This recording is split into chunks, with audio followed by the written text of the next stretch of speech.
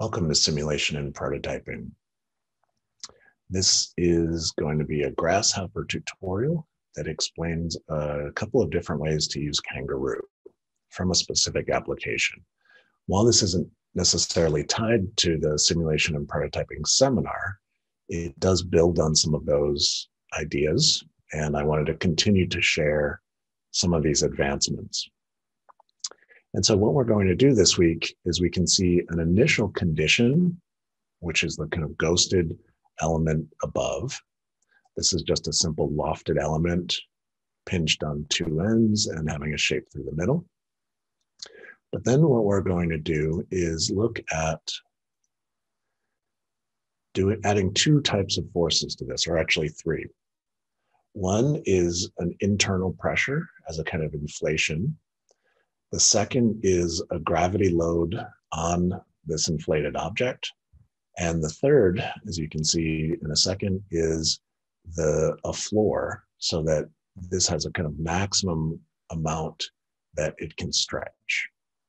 And so we'll be able to change each of those different values. So the, the kind of force, the internal pressure, as well as the resistance of the membrane to that internal pressure.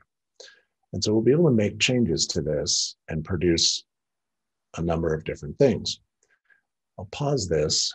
The reason why I'm looking at these is we did a research project a few years ago, and we were looking at fabric formed plaster using robotic control. And so what you can see in this image are two robots holding points in space between that is a draped piece of fabric filled with plaster. And so once that cured, what we were able to do was to produce or parametrically produce a series of forms. And so what you're seeing here are pieces of them. The, the um, wrinkling at the edge is one edge as that's draped. And so the kind of collection of the fabric, the swelling of the fabric, and the way that that changed or evolved. So let's see. We can see another object here kind of turned. So in terms of the catenary aspect, we can see the element being hung like this, as well as introducing an additional force or a kind of pinch through the middle. And here are a couple of elements where we can see as this would begin to touch down, we can see the difference between the internal pressure and the kind of way that the element was folding. And so it started to produce more like maybe kind of arm and at an elbow. And so what we can do today with this tutorial is we'll be able to change the two points in space and we'll be able to change some of the properties tied to this through the use of Kangaroo. So let's look at how to build this kind of uh, simple system so that we can then prototype a number of different options uh, if you wanted to produce something like this. You probably don't want to produce this exact thing, but I think it could be useful to understand the capability of these two other types of issues of inflating with kangaroo as well as using the floor as a way to resist forces on that. So let's begin, and I can just start over completely. And what we'll, we can do is then manipulate some of these um, some of these parameters, and we can start to see what some of the differences are. So I'm going to create a new, uh, and let's see, I don't remember what I was using. So I guess my default has been to use inches. So let's see how that works. Maybe the, the values will be off from some of these, but we can look at them. I'll create a new document in Grasshopper. Okay, so the first thing that we want to do is to begin to understand how to locate these two points in space. And so what I'm going to do with that is we're going to use the, the points, which are under vectors, and point, and we're going to build these with just a simple construct point. We can see the default is at zero, zero. And we're gonna need two points in space. And because I'm not gonna be, this isn't really a kind of uh, form finding on the on the front end from the geometry, I don't I don't need to use sliders. I'm just going to set these. My shortcut is just forward slash forward slash, which allows us to create a panel. And I'll put a zero in there. And so I do want X and Y to be zero. I'll create another panel and make this 10. So now in the 3D view, we can see we have two points, one at 0, 0, 10. The other one, let's move this over and you can copy your panels or you can add a couple more panels. Um, I'm going to set this to be X at 20 and Y will be zero. These might be might be um, coordinates that we'll want to change. And Z in this case, I'll set to be 20. And so when we look at this now, we just have two points in space. And if we want, we could add an XY plane just to understand where the floor will be. Because we, we at the end, for representation sake, we want to have a plane in there so we can see where our object will sag against. And so we can just leave our, our XY plane there set. Next thing we'll do is just create a line between these two points. And that's just going to be a simple line. So the start point and the end point. So now we know if we move these two points in space, that line will also move. And so what we can do, there's probably a couple of different ways to do this. And maybe I will, right, we could set a point in the middle, and it's easy enough to find that with point on curve, where we get our simple midpoint there. But if we wanted to add additional shapes rather than just a shape at the two ends and in the middle, we could divide our curve. And so Let's do that. Let's divide curve. And so our curve will be our line. Our count will be, let's say zero is less than five. And so if we divide by two, we can see we get three points because it's counting zero. And so if we said three or four. Why don't I use four? Because that way you could always change your loft to produce more complexity. And then I'll show you a kind of simple trick for using uh, these multiple uh, elements that come out of a list. So our points, we're going to have five points there. Let's do a list item now. And so this will allow us to work with these points independently to put a circle at those points and then feed those into the loft. And so in this case, I usually don't like the wrap, but I'm going to leave the wrap on for now. Let's set the index to zero. I'll do that simply with a panel.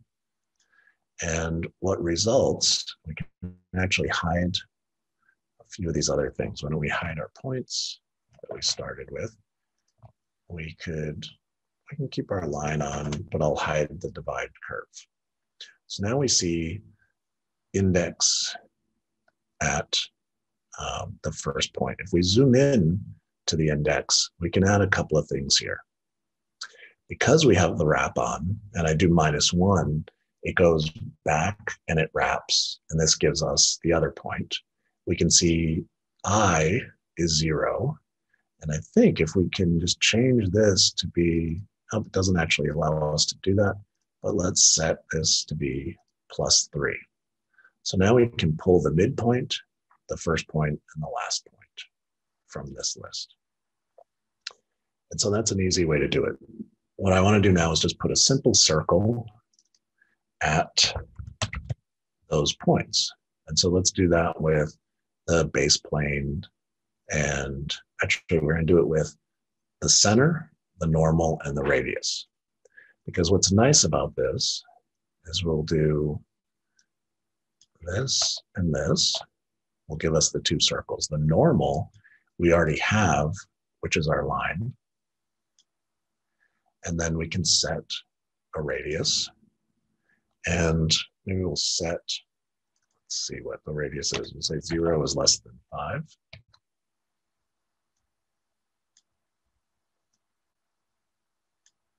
We can turn this into a real as opposed to an integer. And then we can really vary these. At the end, we want these to be relatively small compared to at the middle. And so what I'm going to do is just copy this. Actually, you know what I'm going to do? I'm going to copy this twice because I want to have the first one be I, the third one to be I minus one, and the middle one to be oh, I plus two.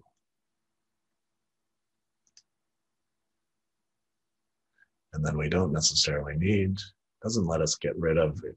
We can only add or delete. We can't delete the one in the middle, but we have that. The one in the middle, we'll set this radius to be larger. So make sure this is working for you. What we want is our line at the two ends. And as I click on these, we can see here's our first circle, here's our middle circle, and here's our last circle. And so again, the, list is a little out of order because I use the shortcut to use the minus one to find the last one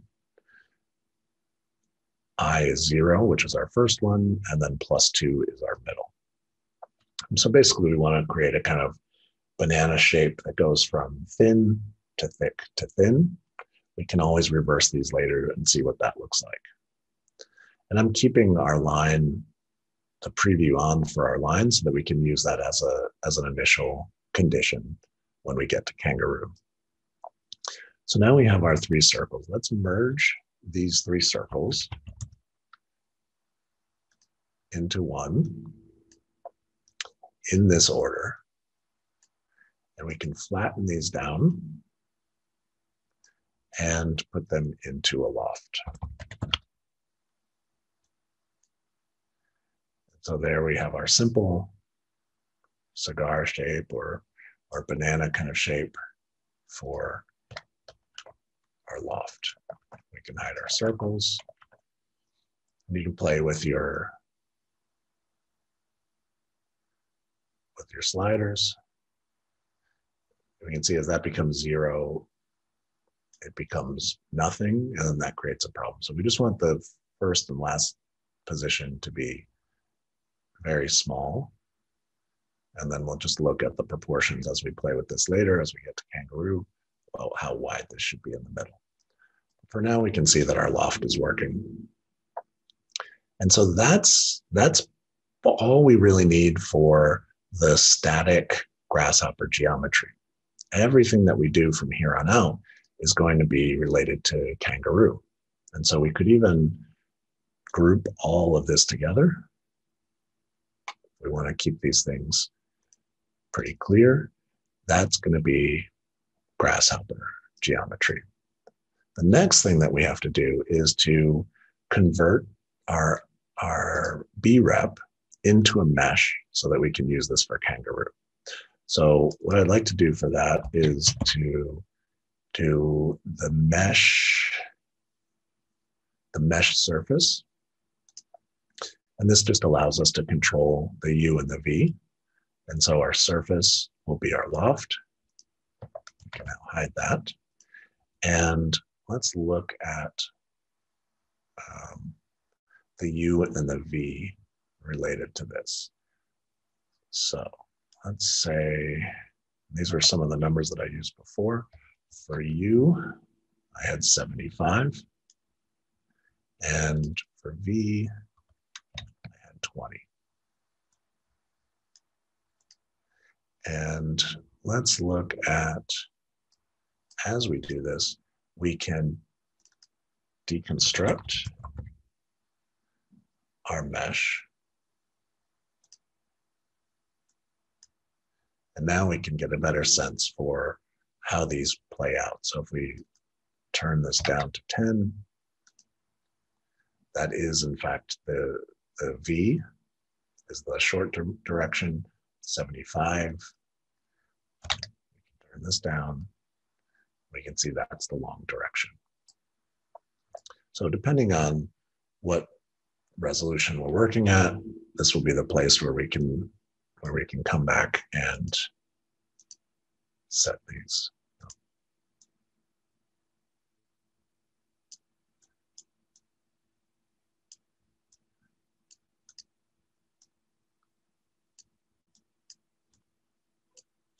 And we don't have to worry about anything else there. So let's now, what we want to be able to do is to get our vertices from that mesh. And we want to be able to get them in the short direction through here. And so we know that our V count is 10. And let's see what happens. I want to uh, break my lists into chunks. And so we're going to do that with partition list. Let's see how that works. So we're going to take our vertices, plug them in, and now let's, I also like to kind of expose some of the things that I'm working with. So the thought here is that I want to tie this in, and I'm going to use an expression. Expression is just going to be simply using one variable, which is going to be our V count. I'm just going to add one. So this will just be X plus one. There are other kind of simpler ways to do it, but what I like is to have this visible so that when I come back to the file, uh, way too many times I've come back and I've embedded something by right clicking and adding an integer, and I can't find those things. And so what we're doing now is simply saying that our V count, the reason why we're adding one is that because it starts at zero, we'll see the way that this that this plays out in a second. So let's add a list or a panel, sorry, so that we, we'll add a panel so that we can look at our list. And now we can see that even though we have 10 in the V count, we have to add, add one because when we say 10 over here, that actually means 11, 0 to 10. And so now we have a list that's been partitioned based on those. So let's see if this is doing what we want it to do. So we'll do another list item because what we want to what we're trying to do now is to get is to capture the points at the end and the points at the end so that we can fix those for the simulation. And so typically what will happen here is that if i set this to be okay so we can see by clicking on the list item it's defaulting to things running, the, the vertices running in the long direction. There's an easy fix to that, which is called flip matrix, which is the way that I imagine this is just if it's something is in an Excel spreadsheet, we can flip it from being columns to rows or rows to columns. And so that's what flip matrix does. So when we do this, we click it, now we're seeing all of these 11 points at the end. So let's do this once more. Actually, we can just copy our list item and we should be able to do, now we'll pull our minus one. And actually, we don't even need to copy it. We can pull those out independently from here. So we see our first one and our last one. So that works well. So that now, those couple of steps, we can also group together. And those are the setup for Kangaroo in terms of the geometry, in terms of creating a mesh. Turn off all of the other vertices. We have those endpoints, and that's fine. So now let's build what we need for Kangaroo. So we'll go up to Kangaroo 2. We're going to use our bouncy solver. We're going to show, we'll use show. We're going to want to merge here as well to merge all of the different elements together. And terms of the bouncy solver, we just need a couple of things. Let's do a Boolean toggle. Turn it on or off. Let's use, and I believe, hopefully this is still true, I can get, a, get this to work with a small number of iterations. So I had this set to two. I can always increase this. And let's put a button here so that we can restart it. The goal objects are going to be that come from our merge, and we can flatten that down as well. Okay, so let's look at a couple of elements. The first thing that we will do is we want to show our mesh. And so we'll come all the way back to our mesh, plug that into the show, and plug that into the merge. We can move these so that we can differentiate them. So from that, let's do a couple of other things. Let's get our, uh, let's set an anchor. And so that will be under goals related to point. We'll grab the anchor. And what we'll do with this is we're going to create a point container. and let's pull our points from both of these in. So we click on it, we can see the endpoints here and the endpoints here. We want to connect this into the point target. And then let's set the strength to be 1000.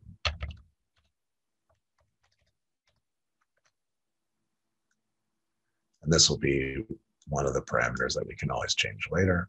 We'll plug this into our merge.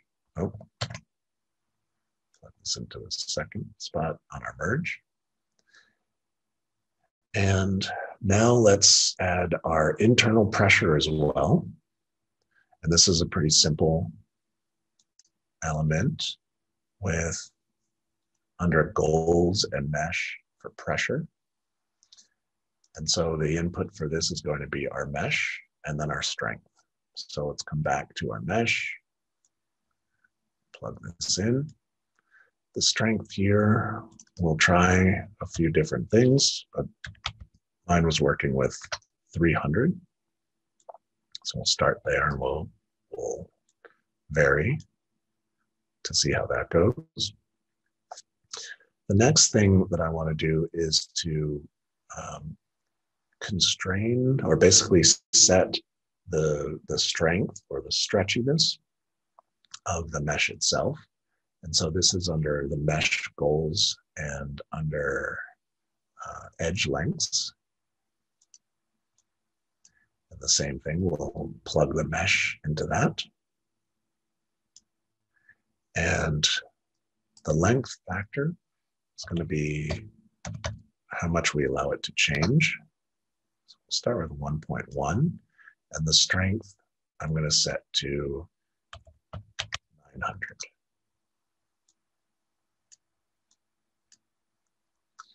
We'll plug this into our merge. And the last thing that I want to do is, well, there's two more. Let's set the uh, a sense of gravity. And so something that's pulling this down. We'll do this with the, let's see, with vertex loads.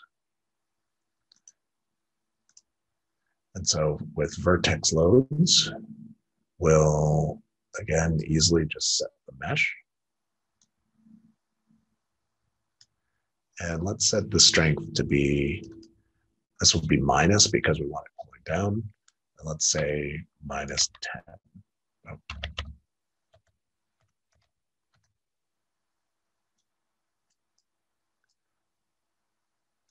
Plug that into the merge. And then the last thing we'll do is set the floor. And so this is under goals related to point, and we'll set the floor. And so the strength of the floor, I have set to a very high number, 10,000. Because I did not want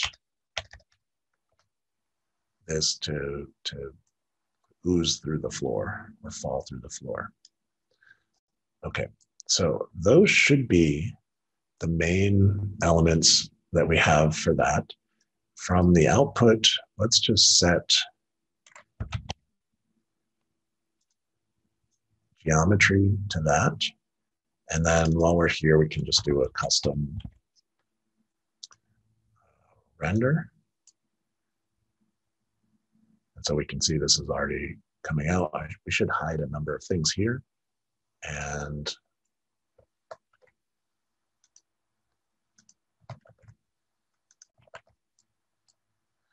those should be all set. We don't need those points. And our floor should be at the XY plane. So I'll check that in a second. So now what you should do is you can, should toggle the Boolean toggle Let's turn this on and see what happens. So we can see it both inflating and falling. As it hits the floor, we can see it being restrained by the floor. And we can see that changing. And so it may, may converge if you let it run, but we can also set that to be false if we want to check some, some things that are going on. And we can also look at varying some of these, these things. The internal pressure and the mesh length will have a relationship to one another. The target is basically just restraining these two ends. As long as it's being held in place, that's okay. And so, really, what we can look at is the internal pressure and the, the gravity that's pulling it down. So, if we want to change slightly, we could go from minus 10 to minus 8. I would recommend only changing one value at a time. We can reset, so it'll start, it'll start over. But changing, if you change multiple values, there's going to be interaction between those. And so change one value, reset it, see what happens so you can get a better handle on these things. So with a little less gravity, we can see we get more of a, a uniform element between them. We can pause it and reset it we could also change this to minus 15.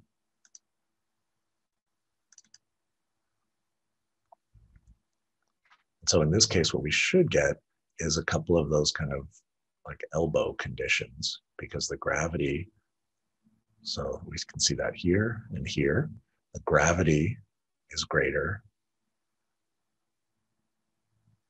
than the internal pressure.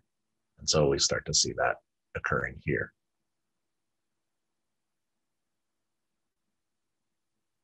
Because of the length, we can also see that it's coming down and it's moving to the side because this length is getting longer. And so what I'm going to do is change this back to minus 10.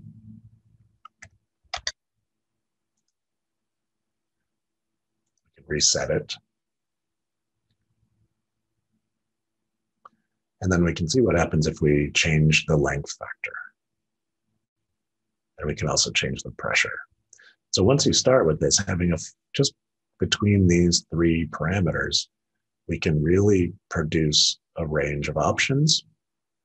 These are tied to the, um, the fabric formed plaster that we were working with, but it was amazing to me when I started working with this, the ability to begin to simulate some of what was happening.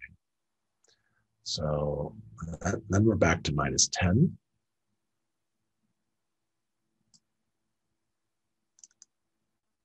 But let's even allow, what if we go to 1.5? Reset.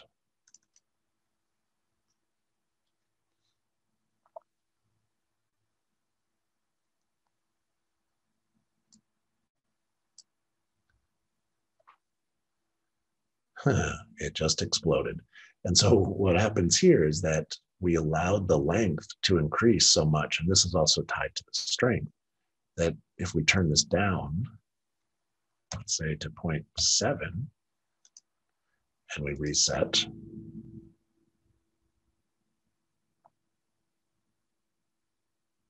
that's really giving you the, that's tied to the dimension of these. And so in this case, it's not even touching the floor because we didn't allow it to sag enough. And so it's really increasing that strength. We could also, between these two, probably reduce the strength and reset.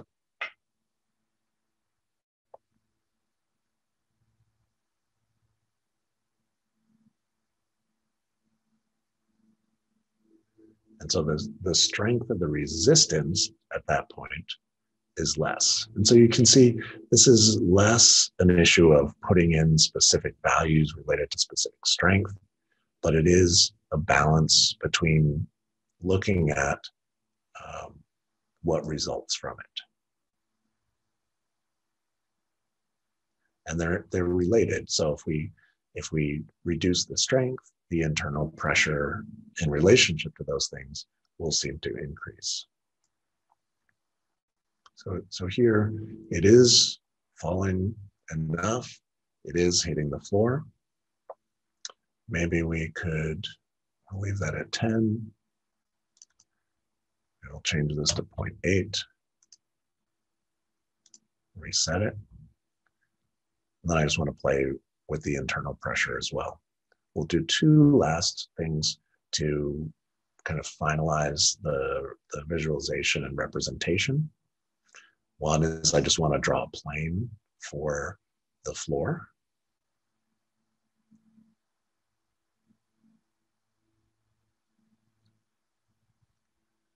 That's looking okay. Let's just, we can reduce our pressure, go to 200 and reset.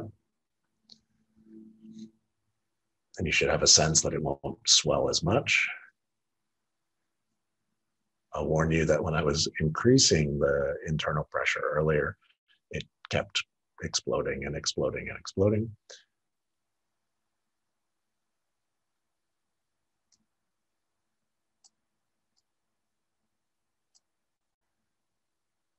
And so let's increase this to 350 and see what happens. In this case, we don't necessarily need to reset think it will keep swelling. And there it goes. So it's beyond its limits for that. So let's try 325. In this case, we can reset.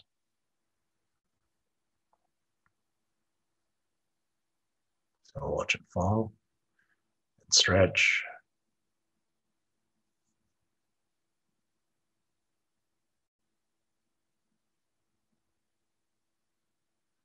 And this might be just the difference between looks like it's going to explode. We can always stop it and capture it at one point, but it's like filling that sleeve with too much plaster, right? And where we start to see it bulge and where we start to see it change. But it looks like even 325 is going to be too much. Set that back to 300. And so what I wanted to do was two two more things. One, in Rhino, I'll set just a simple planar surface. And that's defaulting to zero or defaulting to the XY plane. And so in Grasshopper, we can hide our XY plane. We can, we're just in wireframe, so we can go to a shaded view or a ghosted view. And then the other thing that I would like to do is to just um, deal with the representation of the mesh. And let's set, uh, we'll pick a swatch, color swatch, and choose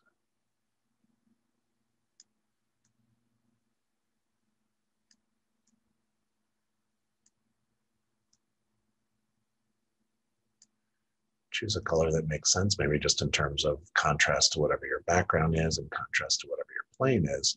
And then I'm going to copy both of these and pull them over, maybe not to the mesh, but to the lofted surface. So I can hide our mesh, plug in our lofted surface, and then I just want to ghost it there. So I'm going to use the alpha channel and just make this a ghosted element. And we can also, we had our line previewed, we can turn that off.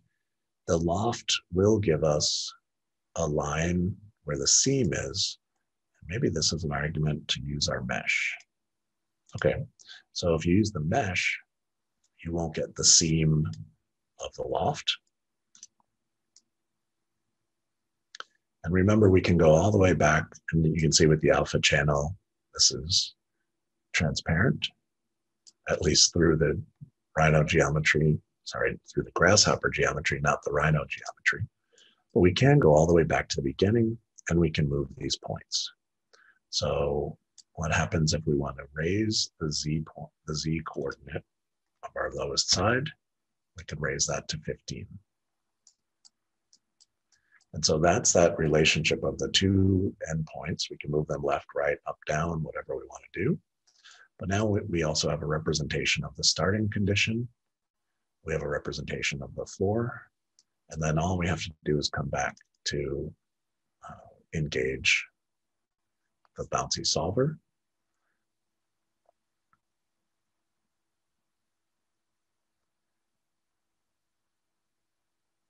And let it drop to the floor. You can play with the parameters. And so because we raised this point up, now we're just getting to the point, it's actually not even touching the floor yet. And so we could change that with either the, the gravity. Oh, I think the inflation is too much. Or the mesh factors is not strong enough. So let's turn this back up, maybe 800. We'll reset it. And we may have to, because we lifted this up higher, we may have to increase the uh, negative load, essentially the gravity on the object, if we wanted to touch the, the ground. In this case, what we're getting is a nice kind of catenary element with internal pressure on that membrane. So let's set, let's go minus 15. We can reset it. We could also move those two points down closer to the floor too. And so this is, it is really an iterative form finding exercise.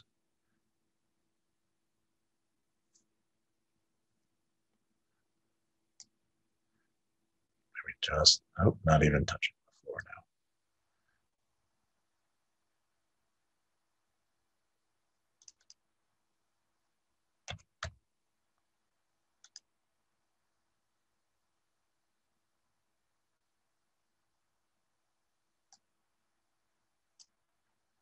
And so the amount of sag is really has to do with the length factor.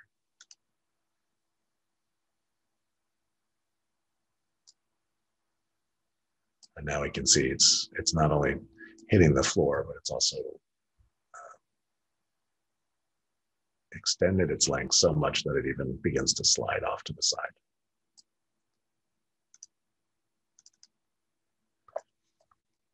But now you have a representation of the floor you have a representation of the starting geometry, and you have a representation of the element that's that has both the internal pressure and a gravity load on it.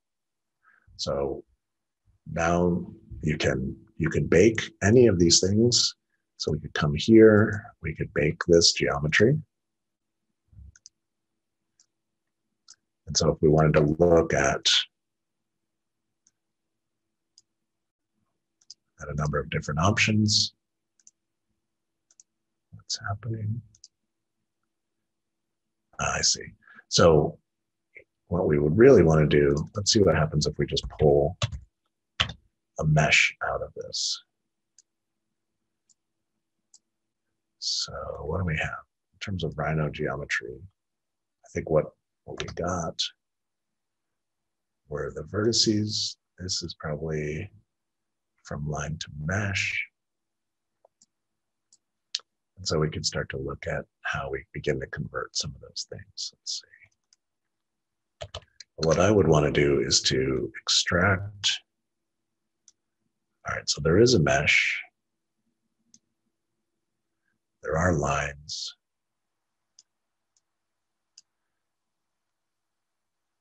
And so what we could do is clean tree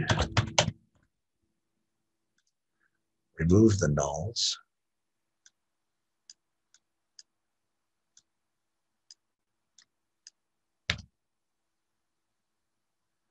So once we clean the tree,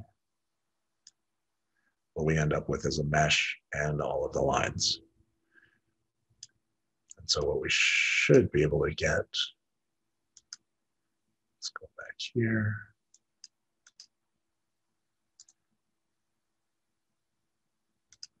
Let's bake it, and then we can just group it together. This will give us both the mesh and the lines.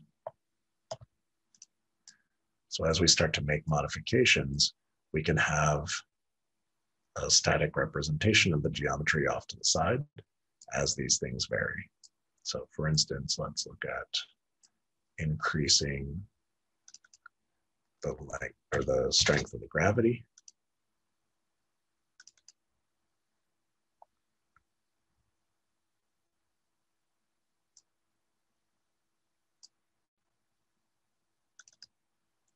More. And so what we should get is more vertical load between these in a slightly different shape.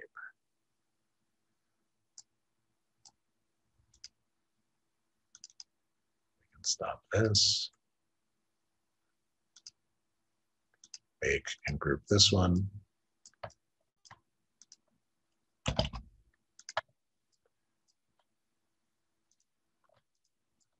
Now we can start to build a family of these or a population of these off to the side so we can see their similarities and differences.